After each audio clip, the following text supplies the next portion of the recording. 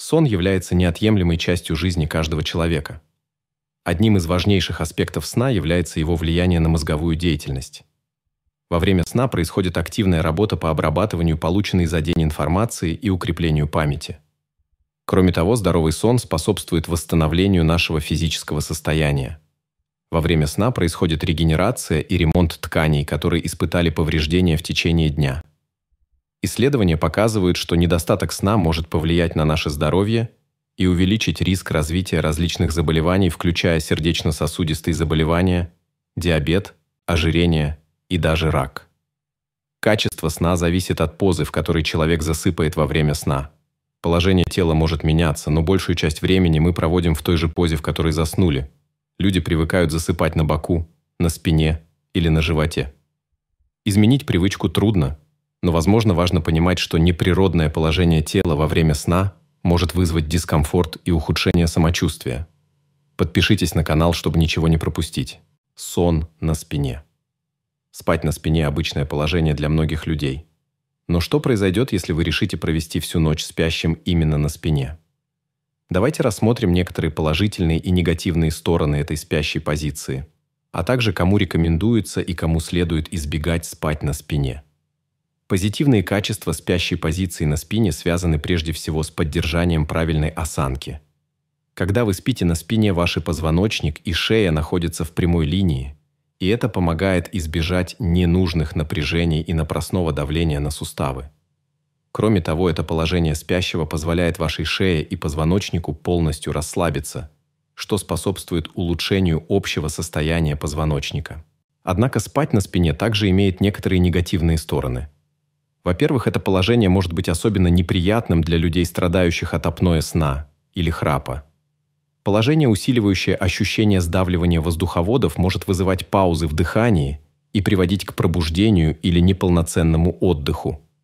Кроме того, спать на спине может спровоцировать или усилить рефлюкс кислоты, что может изжогу и дискомфорт во время сна. Исходя из приведенной информации, можно сделать вывод, что спать на спине не всем рекомендуется людям, страдающим от проблем с дыханием, рефлюксом кислоты или сердечной недостаточностью, не рекомендуется спать на спине. Это положение также не рекомендуется для беременных женщин, так как оно может негативно влиять на приток крови к плоду и матке. С другой стороны, спать на спине может быть полезным для тех, кто испытывает боли в спине или шее, особенно рекомендуется использовать мягкую подушку или специальную ортопедию сон на животе. Спать на животе – одна из наиболее распространенных поз из всех возможных. Впечатление такое, будто такая поза наиболее удобна для многих людей, поскольку дает возможность сладко отдохнуть во время сна. Однако мало кто задумывается о последствиях такого положения для здоровья. Некоторые положительные аспекты спания на животе включают улучшение дыхания и снижение храпа. В этой позиции горло и грудная клетка оказываются в свободной позиции, что облегчает дыхание. В дополнение к этому постельное белье не будет мешать вам так, как оно будет свободно располагаться под вашим телом. Но есть и несколько негативных аспектов от такого сна. Во-первых, спать на животе.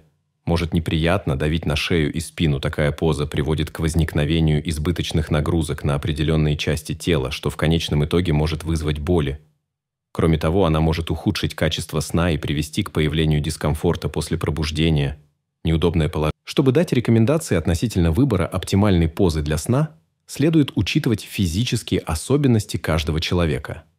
Некоторым людям, особенно тем, у кого есть проблемы со спиной или шеей, спать на животе категорически не рекомендуется. В таких случаях желательно выбирать больше спокойные и поддерживающие положения, которые помогут снять нагрузку определенных частей тела. Сон на правом боку. Спать на правом боку может иметь как положительные, так и негативные последствия для здоровья. Спать на правом боку рекомендуется людям, страдающим желудочно-кишечного тракта. Положительные качества. Это сон на левом боку. Спать на левом боку – это привычка, которую имеют многие люди по всему миру. Но далеко не все знают, кто аки положительным качеством может принести это положение тела во время сна.